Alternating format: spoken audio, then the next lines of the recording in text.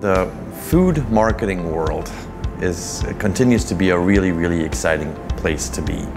And, and grocery stores are probably a bit more exciting now than, than they were some, some time ago. Uh, we we um, you know, have this proliferation of conversation about food and, and, and that food comes together in the supermarket. We've done a lot of work over the last couple of years to, to understand what drives the influence of our brand. Then worked, worked with you on, on, on that. And uh, saw some soft spots around, um, around our brand, specifically with young Canadians and, uh, and with new Canadians that, that haven't grown up with the brand over the, over the decades. And um, you know, that really led us to, to um, you know, rethink how we bring the brand to market. And we did that last year in a, in a, in a significant way. We are, we're on this journey, on, the, on this journey of modernizing our, our go-to-market approach, of digitizing our go-to-market approach.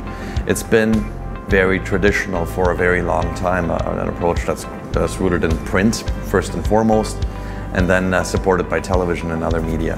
And um, so the, the, the, bigger steps we've taken last year is just the um, uh, innovation around how we market the brand under a new umbrella, a, whole new go-to-market strategy under Crave More. Uh, and, and uh, a significant effort behind that last year. It was probably the biggest thing we did uh, for the brand last year.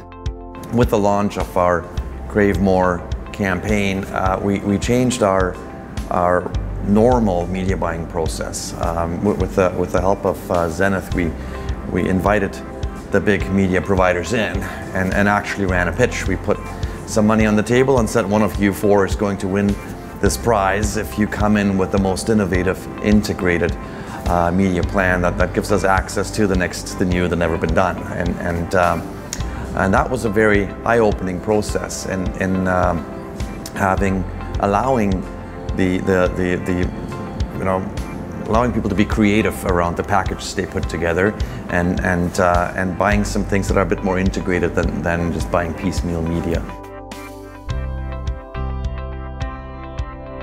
Influence and, and, the creation of influence um, is definitely a collaborative effort across everybody at Loblaw. You know, President's Choice is our crown jewel. It is our, it's our, our, our you know, most, most valued asset. And, and um, there isn't one person that owns it. Uh, there isn't one team that owns it. It's, it starts with our product development teams, uh, goes, goes through the marketing, but, but, but certainly uh, our front line, the people in our store, the people downstairs here that represent that brand uh, each and every day are really the ones that I think can be the best ambassadors for the brand and create the most influence. We, for the last two years, have said everything is digital and digital is everything. That's been our mantra. We, we've, we've, everything we've done started with the digital first thought. and it needed to, to, to, to deliver against digital. Um, that's changing, and, and that's now a mobile first objective. So 2015 for us means everything we do has to start with mobile first.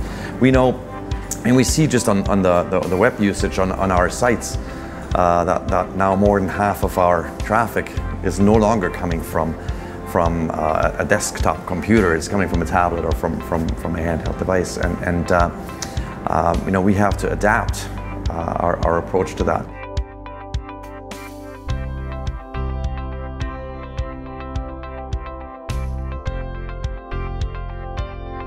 That continues to be a very difficult question to answer because intuitively I think um, you know, the President's Choice brand has presence. You know, we, we, we, um, we have, uh, we're, we're in a thousand Loblaw stores. We're now in a thousand Shoppers Drug Marts with the President's Choice brand. We see 19 million Canadians every week in those stores that, that, that, that bump into that brand. It's in you know, every cupboard, it's in every fridge, it's in every pantry. So that brand is literally present in, in, in people's lives. Um, that combined with the fact that, uh, that we had more media presence last year than we would have in previous years, I think will have us do okay on the presence. Um, I, I, know that, that our, our brand always uh, gets high marks for corporate social responsibility. It's important to us um, to, to, to not only do, do well, but also to do well by people. I certainly do think that President's Choice has had great influence over how Canadians eat and what Canadians eat.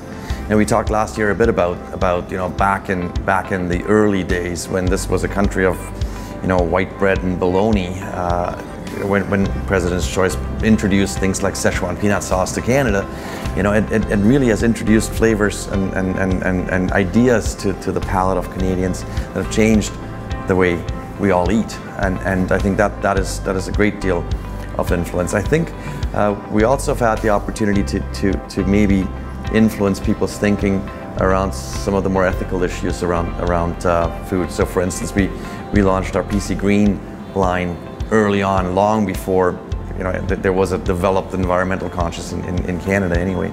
Uh, you know, our, our, healthy eating line had people thinking and talking about, about healthy eating early on. So I think there's an opportunity for, for our brand certainly to influence. And we take that rather seriously and, and, and part of our, our new umbrella of Crave More is that, that, that nice balance between delicious food but also food that is con conscious and food that is, that is consciously sourced, food that is sustainable, food, food that is healthier, food that's not only better for you, but also better for the planet.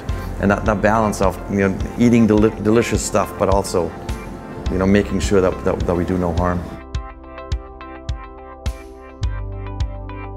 So 2015 for us, I mean, we, we launched our new mantra of Crave More in the fall of last year. We, we, we, just started. This isn't an advertising campaign. This is a new mission for our brand. Expect more from your food and, and internally, you know, expect more from, from each other and, and, and the food we create. So there's, there's a, a, a real energy behind that, that new articulation of the brand. Um, this move from talking to consumers to talking with consumers is, is a big deal for us. And there, you know, the, the creation of, um, of our own community, of a, of a community around, around food engaged Canadians that come together and talk about what, what, what matters to them in food, which could be anything from sharing recipes and, and meal ideas to talking about some of the sustainability or, or other ethical issues around, around food. And you know, being that hub for the conversation about food in Canada is really what, we, what we'd like to achieve.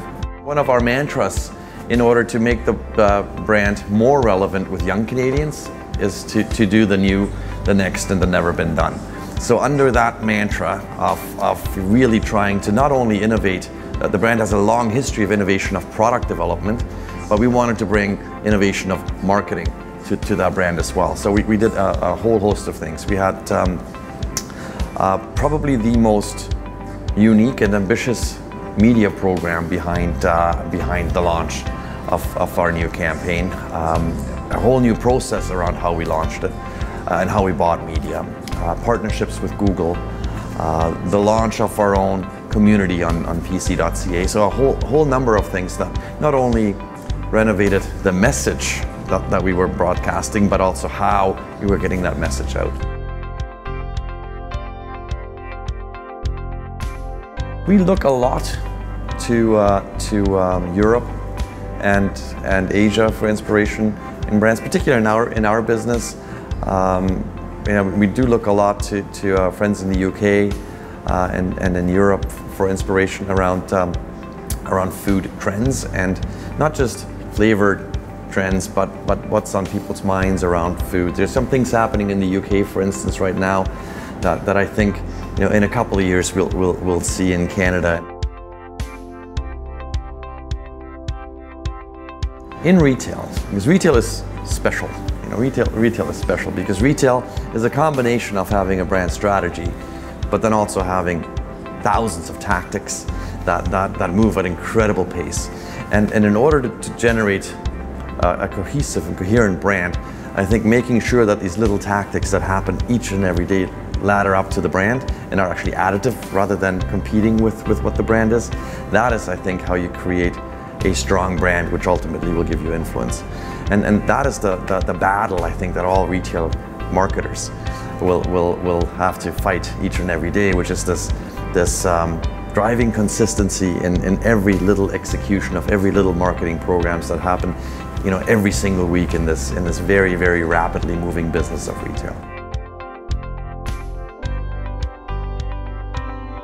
I think it'll be Google again.